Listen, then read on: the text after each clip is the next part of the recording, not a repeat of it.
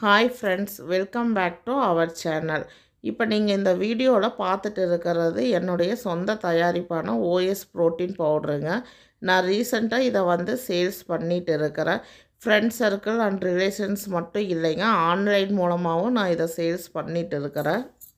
மொத்தம் முப்பத்தி ஆறு இன்க்ரீடியண்ட் அடங்குனதுங்க. நான் வந்து என்னென்ன இன்க்ரீடியண்ட் இதில் யூஸ் பண்ணியிருக்கிறேன் அப்படின்னு நம்ம சேனல் மூலமாக ஒரு வீடியோ அப்லோட் பண்ணியிருக்கிறேங்க. இது வரைக்கும் அதை பார்க்காதவங்க நான் அதனோட லிங்க்கை வந்து கீழே டிஸ்கிரிப்ஷன் பாக்ஸில் கொடுக்குறேங்க. அந்த லிங்க்கில் போய் நீங்கள் செக் பண்ணி பாருங்கள் இந்த ப்ரோட்டீன் பவுடரை எப்படி யூஸ் பண்ணுறது அப்படிங்கிற வீடியோவும் நான் போஸ்ட் பண்ணியிருக்கிறேங்க.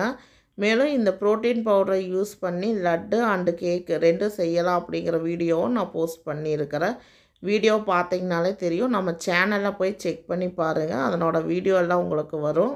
இந்த ப்ரோட்டீன் பவுடரை வாங்குறவங்களுக்கு வெறும் கஞ்சி மட்டும்தான் இதில் செய்ய முடியுமா அப்படின்னு ஒரு டவுட் இருக்குதுங்க. கஞ்சி மட்டும் இல்லை இந்த மாதிரி பலகாரமும் இதில் செய்ய முடியும். உங்கள் குழந்தைகளுக்கு வெறும் கஞ்சி மட்டும் இல்லாமல் நீங்கள் இப்படியும் செய்யலாம் அப்படிங்கிறக்காக தான் நான் இந்த வீடியோலாம் அப்லோட் பண்ணியிருக்கிறேன். அந்த வரிசையில் இப்போ இங்கே நான் வந்து ஒரு ஹெல்த்தியான ப்ரோட்டீன் பவுடரை யூஸ் பண்ணி ஒரு சத்து மாவு கொழுக்கட்டை நான் செஞ்சுருக்கிறேங்க. இது ரொம்ப ரொம்ப ஹெல்த்தியானது டேஸ்ட்டும் ரொம்ப நல்லா இருக்குங்க. கண்டிப்பாக உங்கள் வீட்டு குழந்தைகளுக்கும் நீங்கள் இதை செஞ்சு கொடுங்க. இப்போ அரை கப் பாசிப்பருப்பு கால் கப் கடலைப்பருப்பு. நீங்கள் எந்த கப்பால் மாவு எடுக்கிறீங்களோ அதே கப்பால் அளந்து எடுத்துக்குங்க. குக்கரில் ஒன் ஹவர் ஊற வச்சு குக்கரில் வச்சு ரெண்டு விசில் விட்டு இறக்கிக்கிங்க. இப்போ நான் வந்து கொஞ்சம் தண்ணி விட்டு அது கொதிக்க வச்சு வெல்லம் போட்டிருக்கிறேங்க. வெள்ளத்தோட அளவுன்னு பார்த்தீங்கன்னா ஒரு கப் மாவுக்கு ஒன்றரை கப் அளவுக்கு வெள்ளம் அளந்து எடுத்துக்குங்க. இந்த அளவு எல்லாமே வந்து நீங்கள் எந்த கப்பால் மாவு அளந்து எடுக்கிறீங்களோ அதே கப்பால் அளந்து எடுத்துக்குங்க. தண்ணி பார்த்தீங்கன்னா ஒரு கப் மாவுக்கு ரெண்டு கப் அளவுக்கு தண்ணி விட்டுக்குங்க. கரைஞ்சதுக்கப்புறம் இறக்கி வடிகட்டி திரும்ப அடுப்பில் வச்சு நல்லா கொதிக்க விடுங்க. பாகு நல்லா கொதிக்குதுங்க. அரைக்கம்பி பதம் வந்தால் போதும். நம்ம வேக வச்சு வச்சுருக்கிற பாசிப்பருப்பு கடலைப்பருப்பு கலவையை ஆட் பண்ணிக்கிங்க. பாசிப்பருப்பு கடலைப்பருப்பு ரெண்டையும் ஒன்றா சேர்த்து ஒரு மணி நேரம் ஊற வச்சு குக்கரில் ரெண்டு விசில் விட்டு எடுத்துக்குங்க. கலவை வெள்ளை பாகோடு சேர்ந்து நல்லா கலந்து வர வரைக்கும் ஒரு ரெண்டுலேருந்து மூணு நிமிஷம் இதை நல்லா கொதிக்க விடுங்க. அடுத்ததாக நான் ஒரு பெரிய தேங்காய் இங்கே மிக்சியில் போட்டு துருவி எடுத்துருக்குறேங்க. துருவன தேங்காய் நீங்கள் ஆட் பண்ணிக்கிங்க. ஸ்லோவில் வச்சு அடுத்தடுத்து எல்லா பொருளும் ஆட் பண்ணிக்கிங்க. நான் வந்து இங்கே ரெண்டு ஸ்பூன் அளவுக்கு ஏலக்காய் பொடி ஆட் பண்ணுறேங்க ஏலக்காய் பொடி சேர்ந்து நல்லா கலந்து விடுங்க. நம்ம எடுத்து வச்சுருக்கிற ப்ரோட்டீன் பவுடரை கொஞ்சம் கொஞ்சமாக தூவி நல்லா கட்டி இல்லாமல் கிளறி விடுங்க. இப்போ ஸ்லோவிலேயே வச்சு நல்லா கைவிடாமல் கிளறி விடுங்க.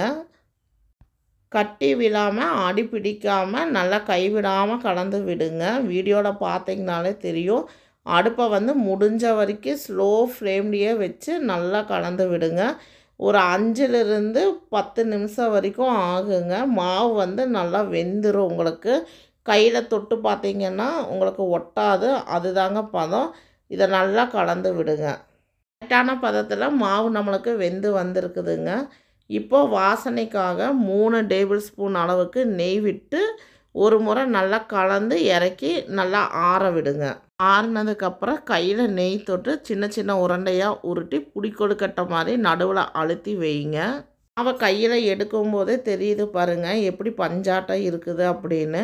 இப்போ நம்ம வந்து புடி கொழுக்கட்டை மாதிரி உருண்டை பிடிச்சி நடுவில் அழுத்தி வைங்க. இப்போ இதை ஆவியில் வேக வைக்க போகிறோம் இது ரொம்ப மணமாகவும் டேஸ்ட்டாகவும் இருக்குங்க. உங்ககிட்ட இருக்கிற மாவு எல்லாத்தையும் இதே மாதிரி நீங்கள் செஞ்சு வச்சுக்குங்க. இட்லி பாத்திரத்தில் தண்ணி வச்சு கொதிக்க வச்சுருக்குறேங்க. மேலே வந்து சென்ட்ரு இட்லி தட்டு வச்சு அதில் நான் துணி விரிச்சிருக்கிறேன். இப்போ இந்த துணி மேலே ஒன்றுக்கு ஒன்று முட்டாமல் அடுக்கி விடுங்க. பத்துலேருந்து பன்னெண்டு நிமிஷம் இதை நல்லா மூடி வச்சு ஆவியில் வேக விடுங்க.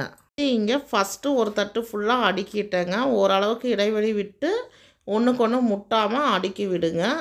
அடுத்ததான் நான் வந்து மேல் தட்டு வச்சுருக்கிறேங்க. என்னுடைய இட்லி தட்டு வந்து மூணு தட்டுங்க மொத்தம்.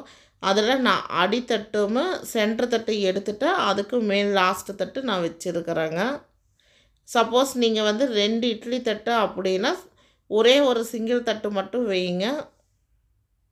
இட்லி பாத்திரத்தை மூடி அடுப்பை வந்து மிதமான தீயில வச்சு பத்துலேருந்து பன்னெண்டு நிமிஷம் இதை நல்லா வேக விட்டு எடுங்க. தாங்க நம்மளுடைய ப்ரோட்டீன் பவுடரை வச்சு கொழுக்கட்டை ரெடிங்க இதனோட டேஸ்ட் வந்து ரொம்ப ரொம்ப நல்லா இருந்ததுங்க. ஃபஸ்ட்டு நீங்கள் ஆவியிலிருந்து எடுத்ததுமே உங்களுக்கு கொஞ்சம் கொல கொலன்னு அதாவது கையில் ஒட்டுற மாதிரி இருக்குங்க. ஆனால் ஒரு பத்து நிமிஷம் நீங்கள் இதை ஒரு பராத்தில் அதாவது ஒரு தாம்பாளத்தட்டில் நீங்கள் பரப்பி விட்டுட்டிங்கன்னா பத்து நிமிஷத்தில் உங்களுக்கு ரொம்ப சூப்பராக ரெடி ஆயிருங்க. கண்டிப்பாக நீங்களும் இந்த ரெசிபியை உங்கள் வீட்டில் ட்ரை பண்ணி பாருங்கள் அண்ட் எப்படி இருந்தது அப்படின்னு உங்களோட ஃபீட்பேக் சொல்லுங்கள் இந்த ரெசிபி உங்களுக்கு பிடிச்சிருந்ததுன்னா லைக் பண்ணுங்கள் ஷேர் பண்ணுங்கள் மறக்காமல் நம்ம சேனலை சப்ஸ்கிரைப் பண்ணுங்கள் தேங்க்ஸ் ஃபார் வாட்சிங்